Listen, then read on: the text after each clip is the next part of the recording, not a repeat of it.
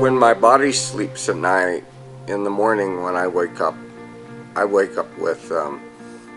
I always get information when I'm sleeping all my life. Uh, I often wake up with new ideas,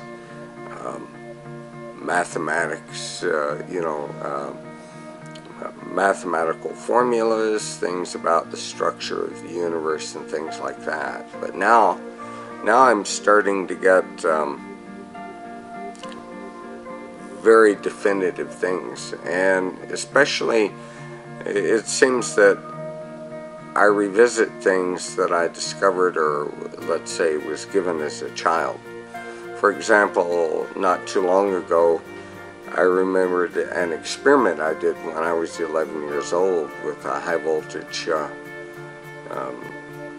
DC, uh, let's say electrostatic field, and seeds, where I was treating seeds with high voltage and getting some unusual results from them and then I